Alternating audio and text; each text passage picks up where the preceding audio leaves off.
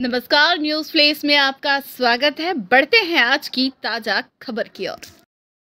खबर बिगोद से, जहाँ कृष्ण जन्माष्टमी का पर्व बीती रात माखन चोर भगवान कृष्ण को जन्मोत्सव परंपरागत तरीके से हर्षोल्लास के साथ मनाया।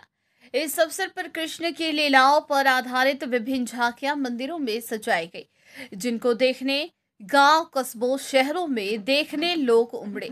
जगह जगह गली मोहल्लों के मंदिरों में कृष्ण भजनों की स्वर लहरिया रात्रि 12 बजे तक गूंजती रही।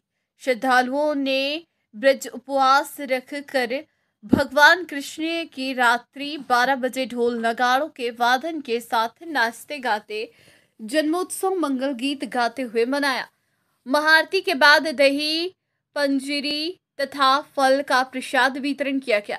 स्थानीय कस्बे के नरसिंह द्वारा मंदिर में हनुमान जी की प्रतिमा को फूलों से सजाया गया। आकर्षक विद्युत रोशनी की झांकी सजाई गई।